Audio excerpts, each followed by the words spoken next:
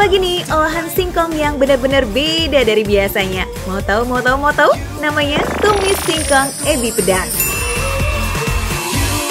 Wah, jadi menu kali ini kita bakal masak tumis singkong ebi pedas dan pastinya bahan dasarnya itu adalah singkong.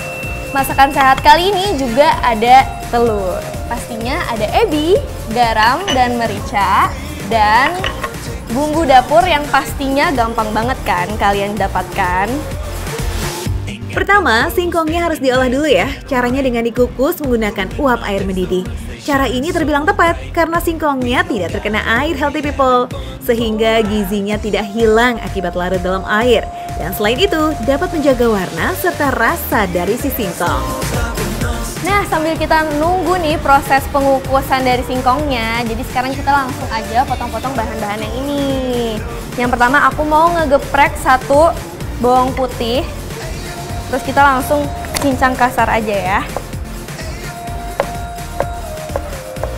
Nah, kalau udah, sekarang kita mau lanjut iris-iris daun bawangnya.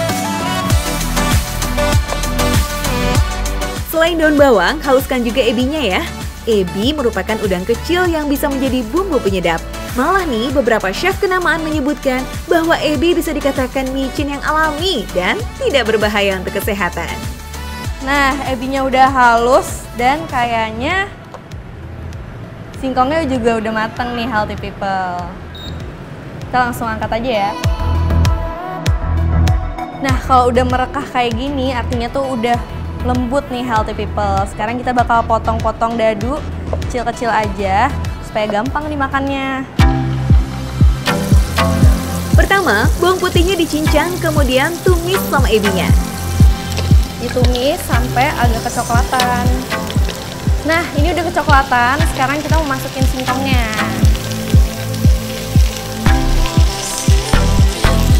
Sekalian tambahin garam ya dan merica secukupnya, oke? Okay?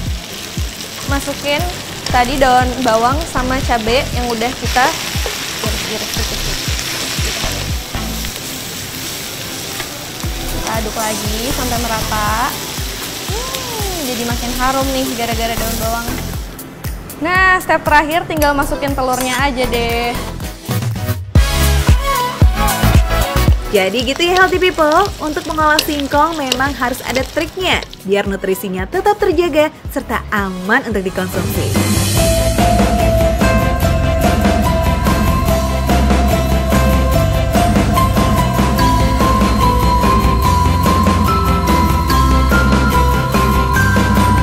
Nah, healthy people, jadi menu ini bisa jadi salah satu pilihan buat cemilan di rumah. Karena selain bahan dasarnya itu singkong yang gampang banget didapetin, terus juga harganya terjangkau, singkong itu juga banyak banget loh kandungan gizinya. Jadi, selamat mencoba!